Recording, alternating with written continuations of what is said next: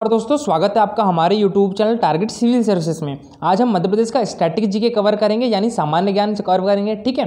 ये exam perspective से most important है, जैसे एम हो गया एम हो गया एमपी पुलिस हो गया, और मध्य प्रदेश में जितने भी एग्ज़ाम होते हैं, उनके लिए मोस्ट इंपॉर्टेंट है। इसमें हम मध्य प्रदेश की जो बेसिक इन्फॉर्मेशन है, उसको कवर करेंगे, ठीक है? तो लेक्चर ध्यान से देखिएगा। चलिए स्टार्ट करते हैं। सबसे पहले देखते हैं हम मध्य प्रदेश का सीप तो मध्य प्रदेश का सीप कैसे है? केमल की भांति है। यानी ऊट की जो कुबड़ होती है, उसकी भांति हमारा मध्य प्रदेश का सेप ठीक है? तो याद रखिएगा, और ये भारत के मध्य में होने के कारण इसका नाम क्या पड़ा? मध्य प्रदेश। अब इसके बाद हम बात करें स्टेटहुड डे की तो मध्य प्रदेश का स्टेटहुड डे कब मनाया जाता है? ये एक नवंबर को मनाया जाता है, ठीक है? कब मनाया जाता है? ये एक नवंबर को मनाया जाता है। और इसके अलावा चार और ऐसे राज्य हैं जिनका स्टेटहुड डे मनाया जाता है एक नवंबर को।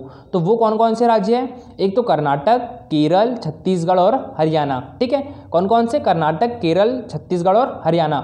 छत्तीसगढ़ जो है मध्य प्रदेश से ही अलग होकर सन 2000 में बना था, ठीक है? छत्तीसगढ़ राज्य मध्य प्रदेश से अलग होकर कब बना था? तो ये 2000 में बना था। ठीक है, याद रखिएगा। यानी पाँच राज्य ऐसे हैं जिनका स्टेट हुड डे यानी राज्य दिवस कब मनाया जाता है? तो ये मनाया जाता है एक नवंबर को, ठीक है?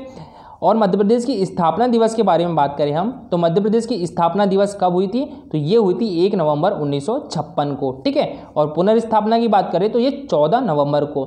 अच्छा बात करें हम कि मध्य प्रदेश का नामकरण किसने किया था?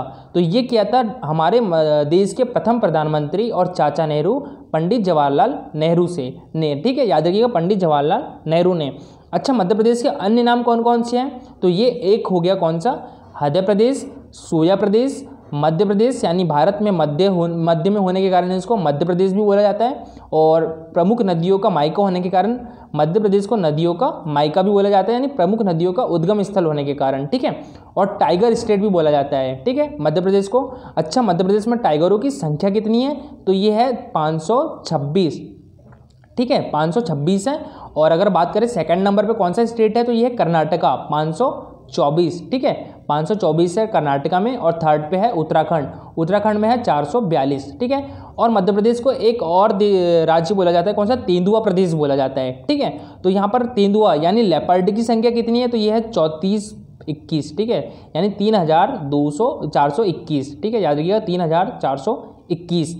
ठीक है? अब बात करें हम मध्य प्रदेश की राजधानी की तो ये कौन सी है? मध्य प्रदेश की राजधानी कौन सी है? भोपाल है। और राजनीतिक राजधानी भी कौन सी है? तो ये है भोपाल ठीक है? और बात करें आर्थिक और औद्योगिक राजधानी की तो ये कौन सी है? ये है इंदौर ठीक है? और बात करें सांस्कृतिक राजधानी की तो ये मध्य प्रदेश की आ, की सांस्कृतिक राजधानी है उज्जैन और मध्य प्रदेश की संस्कारधानी कौन सी होगी? जबलपुर और ग्रीष्मकालीन राजधानी पचमढ़ी ठीक है? ग्रीष्मकालीन राजधानी पचमढ़ी। ये कौन से डिस्ट्रिक्ट में है? तो ये होशंगाबाद डिस्ट्रिक्ट में है, ठीक है? और ऊर्जा राजधानी कौन सी है? सिंगरौली। तो मध्य प्रदेश की ऊर्जा राजधानी कौन सी है? सिंगरौली। अगर बात करें हम सिंगरौली की ऊर्जा राजधानी सिंगरौली तो ये यहाँ पर है सिंगरौली की लोकेशन और ये यूपी और छत्तीसगढ़ दोनों की बॉर्डर शेयर करता है कौन? सिंगरौली, ठीक है? और बात करें हम मध्य प्रदेश की राजधानी भोपाल की तो ये रही मध्य प्रदेश की राजधानी भोपाल की लोकेशन ठीक है? और बात करें हम इंदौर की, यानी आर्थिक और औद्योगिक राजधानी तो ये रही इंदौर की लोकेशन और सांस्कृतिक राजधानी की बात करें हम उज्जैन की तो ये है रही इसकी लोकेशन उज्जैन की। और बात करें संस्कारधानी की तो जबलपुर है हमारे मध्य प्रदेश की संस्कारधानी उसकी लोकेशन ये रही, ठीक है, याद रखिएगा। अब देखते हैं हम मध्य प्रदेश की ऊर्जा राजधानी के बारे में तो जो एशिया में सबसे मोटी कर, परत का कोयला जो पाया जाता है तो वो कहाँ पे पाया जाता है? वो सिंगरौली में पाया जाता है, ठीक है? मध्य प्रदेश की ऊर्जा राजधानी सिंगरौली में पाया जाता है। और अनेक कंपनियों का यहाँ पर मुख्यालय भी है, जैसे नॉर्दर्न कोलफील्ड लिमिटेड हो गया और एनटीपीसी का पावर प्लांट भी कहाँ पर है? सिंगरौली में है, ठीक है? और इसके अलावा बहुत सी जो निजी कंपनियाँ हैं, उनका मुख्यालय है सिंगरौली में, ठीक है? तो ये याद रखिएगा, एशिया में सबसे मोटी परत का कोयला कहाँ पर पाया जाता है? तो ये हमारे मध्य प्रदेश की ऊर्जा राजधानी सिंगरौली में पाया जाता है, ठीक है? अब बात करें हम मध्य प्रदेश के हाई कोर्ट की, ठीक है? मध्य प्रदेश की हाई कोर्ट की बात करें तो ये कहाँ पर है? ये जबलपुर में है, ठीक है? और इसकी दो खंडपीठें कहाँ पर है? ग्वालियर में एक इंदौर में, यानी इसकी दो बेंचेस कहाँ पर है? तो एक है ग्वालियर में और एक है इंदौर में, ठीक है? और जो मध्य प्रदेश का हाई कोर्ट है, उसका गठन कब हुआ था? तो ये 1956 में इसका गठन हुआ था। एक नवंबर 1956 में उसका गठन हुआ था, किसका? मध्य प्रदेश हाईकोर्ट का, ठीक है? अच्छा बात करें हम मुख्य न्यायाधीश की, मध्य प्रदेश के हाईकोर्ट के मुख्य न्यायाधीश की तो ये कौन है? ये है अभी प्रेजेंट में। कौन है? मोहम्मद रफ़ीक है, ठीक है? मोहम्मद रफ़ीक अभी प्रेजेंट में है और बात करें हम कि मध्य प्रदेश के प्रथम मुख्य न्यायाधीश कौन थे? तो ये थे मोहम्मद हिदायतुल्ला ठीक है? मोहम्मद हिदायतुल्ला थे प्रथम मुख्य न्यायाधीश। और बात करेगी कि महिला प्रथम मुख्य न्यायाधीश कौन थी मध्य प्रदेश की? तो ये थी सरोजनी सक्सेना, ठीक है? याद रखिएगा सरोजनी सक्सेना, ठीक है? अब देखते हैं हम मध्य प्रदेश का क्षेत्रफल। तो मध्य प्रदेश का क्षेत्रफल कितना है? तो ये है तीन लाख आठ हज़ार दो सौ बावन किलोमीटर स्क्वायर, ठीक है? जो कि हमारे देश का nine point three eight percent है, ठीक है? तो मध्य प्रदेश का क्षेत्रफल कितना है? तीन लाख आठ हज़ार दो सौ बावन किलोमीटर। और जो अमरकंटक की किरार घाटी है, उसके विवाद के कारण कितना हो जाता है इसका क्षेत्रफल? तीन लाख आठ हज़ार दो सौ पैंतालीस किलोमीटर स्क्वायर, ठीक है? तो कितने कम हो गए? सात किलोमीटर स्क्वायर कम हो गए। है ना? तो याद रखिएगा इससे। और बात करें हम मध्य प्रदेश का क्षेत्रफल की दृष्टि में कौन सा स्थान है? तो क्षेत्रफल की दृष्टि से है सेकेंड स्थान। 2000 पहले के 2000 की बात करें तो 2000 में मध्य प्रदेश से अलग अलग कौन सा राज्य बना था? ये बना था छत्तीसगढ़, है ना? तो इसके पहले 2000 के पहले मध्य प्रदेश क्षेत्रफल की दृष्टि से पहला स्थान रखता था। ठीक है, उसके बाद सेकंड स्थान पे आ गया। तो अभी पहले स्थान पर कौन है? तो ये है राजस्थान। राजस्थान का क्षेत्रफल कितना है? तीन लाख बयालीस हज़ार दो सौ उनचालीस किलोमीटर स्क्वायर ठीक है? उसके बाद है महाराष्ट्र और उसके बाद है उत्तर प्रदेश, ठीक है? फिर उसके बाद आता है गुजरात, ठीक है? पाँचवें नंबर पर कौन आ जाता है? गुजरात। अब बात करें हम मध्य प्रदेश की लंबाई, ठीक है? उत्तर से दक्षिण, यानी ऊपर से नीचे तक कितनी है? तो ये हो गई छः सौ पाँच किलोमीटर, ठीक है? 605 किलोमीटर, ऊपर से नीचे, यानी उत्तर से दक्षिण 605 किलोमीटर है। और बात करें चौड़ाई की, यानी पूर्व से पश्चिम, ठीक है? तो ये कितनी होगी? 870 किलोमीटर। तो उत्तर से दक्षिण कितनी होगी? 605 किलोमीटर, ये वाली, और पूर्व से पश्चिम कितनी होगी? 870 किलोमीटर। तो ये वाला एरिया ज़्यादा है है ना? ठीक है? ये वाला जो है लेंथ ये ज़्यादा है, ठीक है? चौड़ाई ज़्यादा है मध्य प्रदेश की। और मध्य प्रदेश का क्षेत्रफल कितना हो गया? तो ये हो गया तीन लाख आठ हज़ार दो सौ बावन। किलोमीटर स्क्वायर, ठीक है? और यहाँ पर अगर हम भारत के क्षेत्रफल की बात करें तो ये होगा बत्तीस लाख सतासी हज़ार दो सौ तिरसठ किलोमीटर है हमारे भारत का क्षेत्रफल, ठीक है? और इसमें इसकी लंबाई कितनी है? यानी ऊपर से नीचे तक उत्तर से दक्षिण तक की कितनी है? तो ये हो गई बत्तीस चौदह, ठीक है? बत्तीस चौदह हो गई। और अगर बात करें चौड़ाई की, यानी पूर्व से पश्चिम तक की तो ये हो गई उनतीस तैंतीस, ठीक है? याद रखिएगा उनतीस तैंतीस अब बात करते हैं मध्य प्रदेश के राजकीय चिन्ह की, ठीक है? तो ये है मध्य प्रदेश का राजकीय चिन्ह, जिसमें जो सबसे बाहर 24 स्तूप आकृति है, ठीक है? ये वाली 24 स्तूप आकृति है, ठीक है? और इसके बाद एक व्रत है है ना? और इसके अंदर क्या है? तरक्की और विकास की असीम संभावना का प्रतीक है, ठीक है? ये जो है इसके अंदर व्रत उसके अंदर जो है तरक्की और विकास की असीम संभावना का प्रतीक है, ठीक है? और इस व्रत के जो अंदर है मध्य प्रदेश शासन है ना? मध्य प्रदेश शासन और सत्यमेव जयते लिखा हुआ है, ठीक है? और साथ ही राज्य की प्रमुख फ़सलें कौन कौन सी है? गेहूँ और धान। तो उनको भी यहाँ प्रदर्शित किया गया है है ना? और फिर उसके अंदर जो है, एक सिंह बना हुआ है, ठीक है? सिंह आकृति है और इसके अंदर राज्य वृक्ष कौन सा है? हमारा बरगद। तो उसको भी दर्शाया गया है, ठीक है? तो इसके पीछे क्या है? राज्य वृक्ष बरगद। तो चौबीस स्तूप आकृति के अंदर एक व्रत है, यानी कितने स्तूप है? चौबीस। और जिसमें गेहूँ एवं धान की बालियाँ दर्शाई गई है। तो ये भी याद रखिएगा कि ये जो बालियाँ दर्शाई गई है, वो गेहूँ और धान की है, ठीक है? और अंदर वृक्ष कौन सा है? तो ये बरगद का है, ठीक है? तो याद रखिएगा अब बात करते हैं हम राजकीय पशु की, यानी मध्य प्रदेश का राजकीय पशु कौन सा है? तो ये है बारह सिंगा, ठीक है? याद रखिएगा बारह सिंगा। और ये बारह सिंगा कौन सी प्रजाति का है? तो ये वैडरी प्रजाति का है, ठीक है? इसकी प्रजाति याद रखिएगा, वैडरी प्रजाति का है। और ये मुख्यतः कहाँ पर पाया जाता है हमारे राज्य में? तो ये कान्हा राष्ट्रीय उद्यान में पाया जाता है, ठीक है? कहाँ पर पाया जाता है? कान्हा राष्ट्रीय उद्यान। और कान्हा राष्ट्रीय कहाँ पर है? ये मंडला और बालाघाट डिस्ट्रिक्ट में है, ठीक है? याद रखिएगा मंडला और बालाघाट डिस्ट्रिक्ट। ठीक है? और ये दलदली घास में रहने वाला भी हिरन है, ठीक है? कहाँ, कैसी घासों में रहता है? दलदली घासों में। और जो कान्हा टाइगर रिज़र्व है, ये भारत का पहला टाइगर रिज़र्व बना है, जिसने भूर सिंह और बारासिंगा को अपना आधिकारिक मैस्कॉट बनाया है, ठीक है? कौन सा? कान्हा टाइगर उद्यान।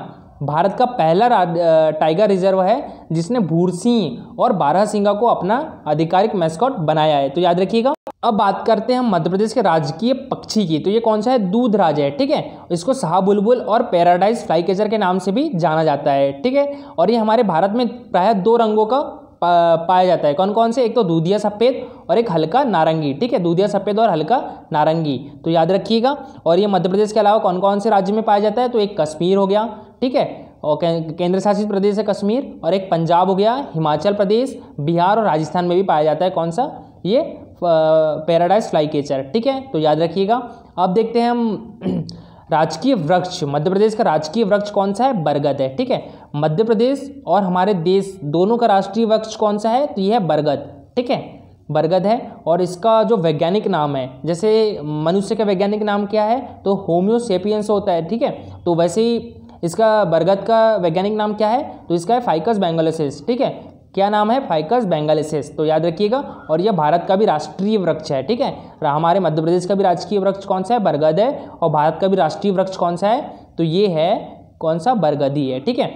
और जो राजकीय पशु, पक्षी और वृक्ष, इनको कब घोषित किया गया था? तो ये पच्चीसवीं, यानी मध्य प्रदेश की पच्चीसवीं वर्षगांठ पर घोषित किया गया था। देखो मध्य प्रदेश की स्थापना कब हुई थी? तो उन्नीस सौ छप्पन में हुई थी, ठीक है? उन्नीस सौ छप्पन में स्थापना हुई थी, उसके 25 वर्ष बाद, यानी 1981 में इसको घोषित किया गया था। किस किस को एक तो पशु, पक्षी और वृक्ष को। तो याद रखिएगा। और बात करें हम राज्य की फ़सल की तो ये हो गई सोयाबीन, ठीक है? सोया प्रदेश भी बोला जाता है हमारे मध्य प्रदेश को तो याद रखिएगा।